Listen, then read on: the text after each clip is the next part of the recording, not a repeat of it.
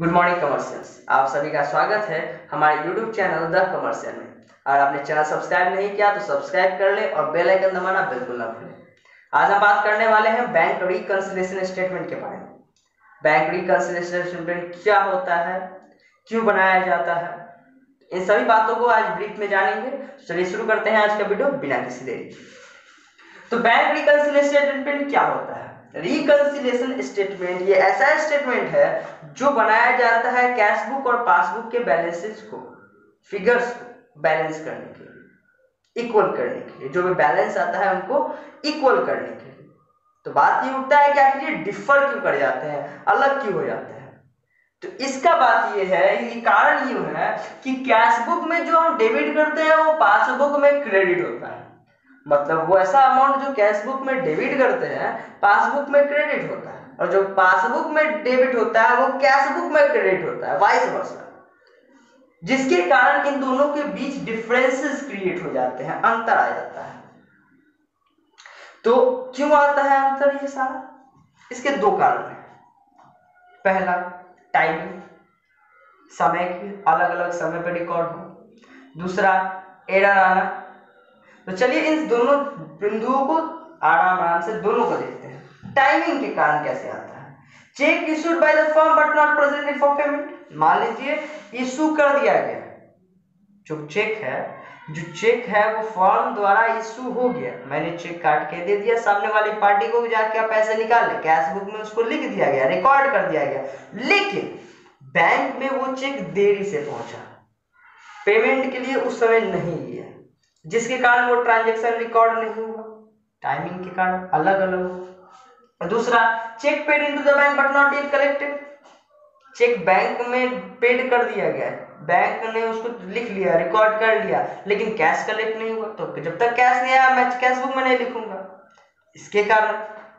तीसरा direct debit made by the bank in behalf of customer ऐसा कोई payment ऐसा कोई डेबिट जो बैंक कर दे in behalf of customer customer के बिहाफ में डेबिट अगर कोई कोई बैलेंस डेबिट कर देता है बैंक उसके कारण भी होता है।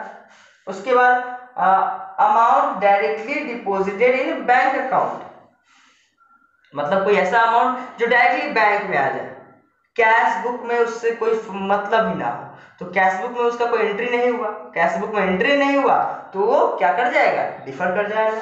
आगे इंटरेस्ट और dividend collected by the bank मतलब हमारे फिक्स डिपॉजिट पे या फिर कोई भी ऐसा इंटरेस्ट जो हमें मिलता है बैंक द्वारा डिविडेंड अगर हमने कलेक्ट किया तो जो हमारा बैंक अकाउंट है उसमें ये डायरेक्टली आ जाते हैं।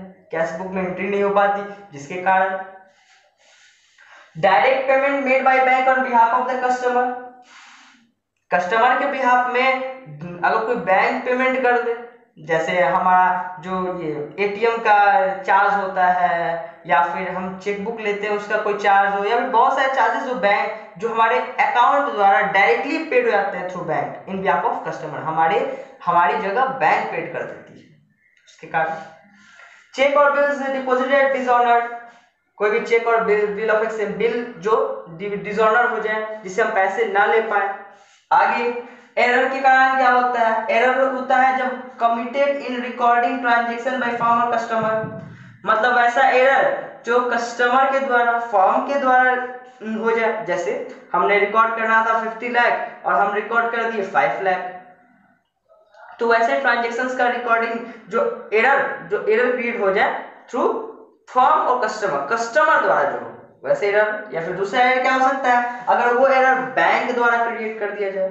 कोई ऐसा एंट्री ऐसा ट्रांजेक्शन गलत रिकॉर्ड हो जाए बैंक द्वारा तो दो कारण हो सकते हैं एरर अब बात है इनके प्रिपरेशन के बारे में, कि मतलब रिकंसिलेशन स्टेटमेंट प्रिपेयर कैसे करते हैं, बात है कैसे तो उसके दो तरीके हैं। Without adjusting cash book cash book के एडजस्टमेंट के बिना, या आफ्टर एडजस्टिंग कैश बुक या कैश बुक के एडजस्टमेंट के बाद। तो इस दोनों टॉपिक के बारे में बात करेंगे अगले वीडियो में। तब तक के लिए नमस्कार, धन्यवाद। अपना ख्याल रखिए, दूसरों का भी ख्याल रखिए।